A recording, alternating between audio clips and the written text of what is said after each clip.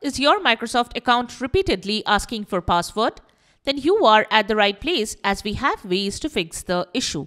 Let's get started.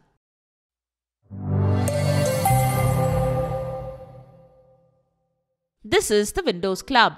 If your Microsoft account keeps asking for a password multiple times a day, then it is mostly because the security has doubts about your account and there is something that triggers a check. The error could occur almost anywhere you use your Microsoft account.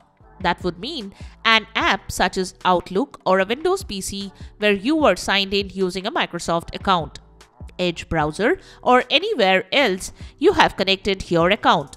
Now, let's get started on how to fix the issue. Method 1. Clear cache. Before you begin, clear your browser cache and cookies following this guide. Then clear your Outlook cache following this link. OneNote cache following this guide or the cache of the app that is causing the issue by using the repair option. You can follow this guide for that. Restart your router and then see if it works for you. Method 2. Check account security settings.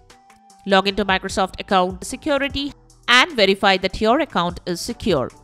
Review recent sign-ins for suspicious activity. Also, enable app-specific passwords for devices or apps that don't support 2FA.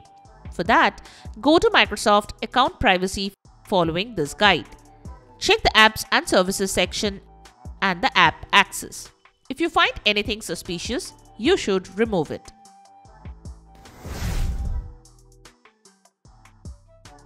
Method 3. Re-add your Microsoft account to your Windows PC. If you only have one Microsoft account on your PC, then first, you need to create a local account following this guide. Then remove your Microsoft account. Once done, you must add it back and check if the error still exists. This will remove all the files from the PC, so ensure you have taken a backup. Log in with the local account, then go to Settings, then select Accounts, then other users on your Windows PC.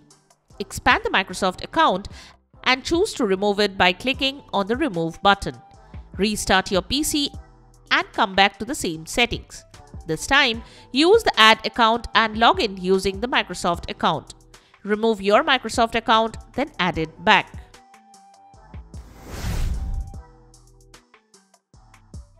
Method 4. Reset Microsoft account password. Next, you can reset the account password by going to the accounts.microsoft.com and log in with your account and then choose to change the password. If the problem persists after trying these fixes, contact Microsoft support. They can help identify if there is a deeper issue with your account or their services.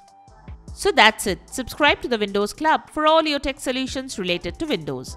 Thanks for watching.